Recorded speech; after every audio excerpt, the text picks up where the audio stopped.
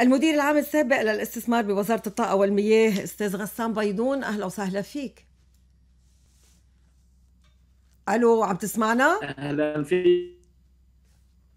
وصباح الخير وللزميل وللمستمعين. يا أهلا وسهلا فيك. أهلا. بصفتك مدير استثمار سابق وخبير بشؤون الطاقة وتصرفات الخارجين عن القانون بوزارة الطاقة كهرباء لبنان. هل بتتوقع إنه الكهرباء كهرباء لبنان ووزارة الطاقة رح يخضعوا لقانون الشراء العام وشو رح يتغير؟ آه لا شك إنه الملزمين بالخضوع لقانون الشراء العام. شغلة ما عادت مزاجية وما عادت مثل ما كانوا يقولوا لنا. نحن أول ناس راحوا على إدارة المناقصات وكأنه راحوا طوعا أو إنه تربيح جميلي لإدارة المناقصات. وبعتقد آه، بداية تطبيق أو دخول القانون حيز التطبيق هو بداية معركة رح تكون كثير قاسية مع الفساد والمنتفعين من الفساد. شو يعني معركة قاسية أستاذ غسان بيضون؟ نعم. شو يعني معركة قاسية؟ شو راح يصير؟ نعم. شو راح يصير؟ شو يعني معركة قاسية؟ المحاولات.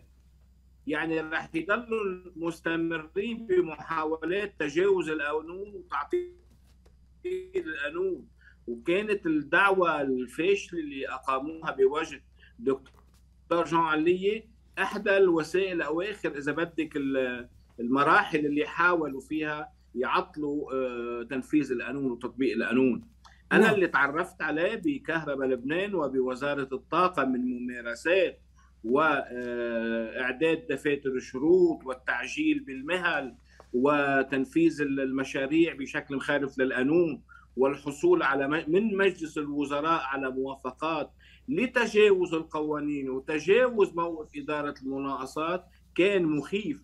هالممارسه كان لها دور كبير بسقوط الدولة وانهيار الخزينه وإفلاس المالية العامة؟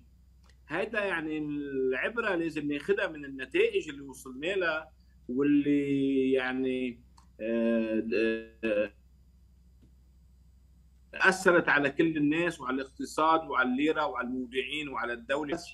يعني أنا بقول لك بوزارة الطاقة كان كثير مستقوي الوزير بإنه يروح على مجلس الوزراء ويجيب من مجلس الوزراء موافقات غريبة ومخالفه للقانون لا بل كانوا يحوروا ويغيروا الوزراء بشكل كثير يعني مثير لل للشك وللاستغراب وكان الوزراء المهيمنين والقادرين واللي عندهم وزن سياسي آه، قادرين يحولوا مجلس الوزراء إلى هيئة ناظمة للفساد. نعم كانوا الوزراء اللي بيدعوا إنه هن آلهة ولهم أن يفعلوا ما يشاءون في وزاراتهم لإدارة مصالح الدولة. شفنا لو هودي هالوزراء أكيد ما راح يكونوا مرتاحين لأنه كانوا يجتمعوا آه، عدة وزراء كل واحد يحضر ملفه وتم هندسة واخ آه، هالملفات لحتى تتنفذ بشكل مخالف للقانون. بعتقد راح تكون آه، ما عادت سهلة. ومنذكر يعني بعدة أمور كانت تتمارس بوزارة الطاقة وهو إطلاق المناقصات من منصات غير قانونية.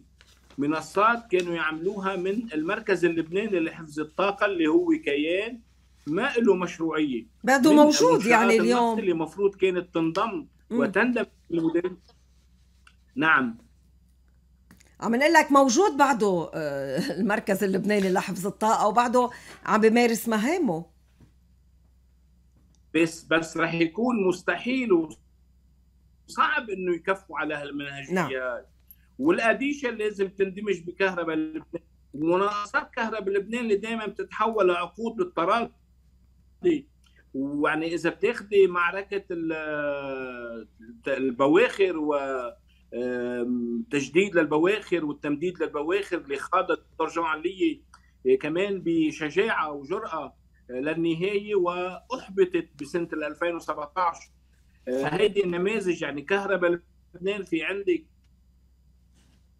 قانون انشاء المؤسسه اللي ادخلوا بموجبه مقابلات عامله والخير. وهلأ عاملين كمان مناقصة جديدة لمقدمي خدمات بمنطقة زحلة بعد ما عملوا له قانون مبني على أخ على كل حال الصوت عم بيروح وبيجي رح نكتفي من هالقدر. نعم. كل هاي كل هاي القوانين ف نعم. أكثر يعني جهتين رح يتضايقوا ورح يضطروا شكرا لك أستاذ غسان بيضون المدير العام السابق للاستثمار بوزارة الطاقة والمياه. الصوت مش كتير واضح.